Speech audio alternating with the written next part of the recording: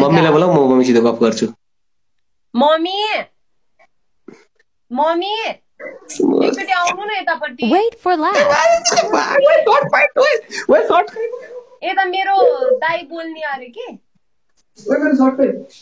आउनु mummy mummy छिटो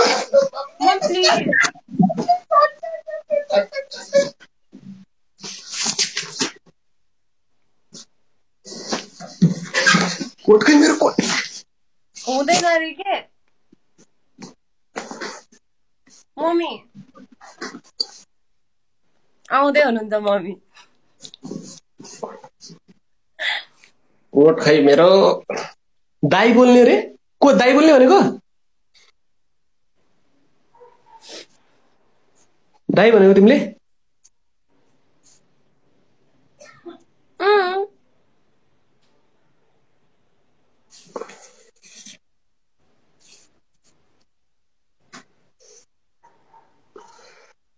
तिमीले मलाई दाई भन्यो होइन? अब खै?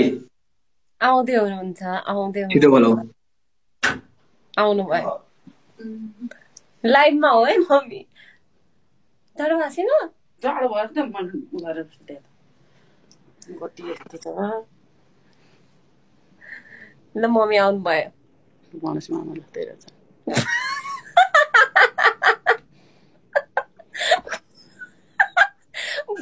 मामा जस्तै मम्मी बस्ने मेरो मामा जस्तै गणेश मामा अरे?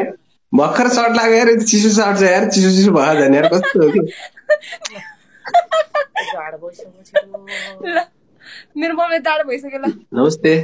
नमस्ते। हुन्छ हुन्छ। ऊ चाहिँ मेरो बहिनी जस्तो हो कि अनि जहिले दाइ दाइ भन्छ अनि एकदम राम्रो छ के?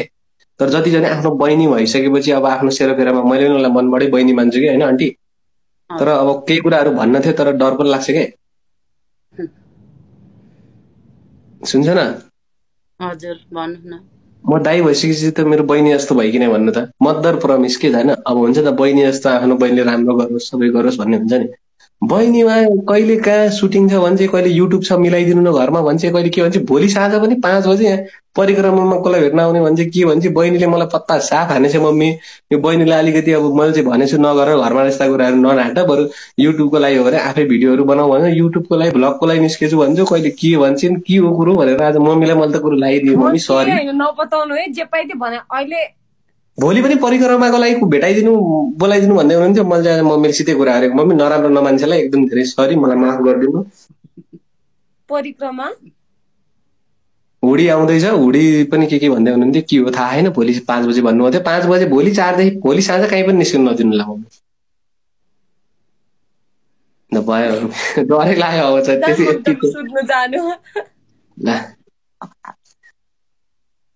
ल जाडोमा गणेश मामा हो जे भन भोलि अब तिम्रो प्रमोसन क्यान्सिल अब भोलि। दाई भनेको होइन? मेरो माइलो भाइ जस्तै रहेछ अरे। दाई भनेको होइन? दाई भनेको होइन। अब भोलिदेखि तिम्रो क्यान्सिल अब तिमीलाई केही आउँदैन भोलिदेखि घरै बस्ने अब क्यान्सिल सबै क्यान्सिल पत्ता साफ अब भोलि घरै बस्ने। भोलि घरै बस्ने अब हुन्न तिम्रो तिम्रो सक्यो तिमीलाई के के दिने कुरा भयो सक्यो सबै। दाई आयो दाई। दाई? आयो भनेको नि तिमी दाई।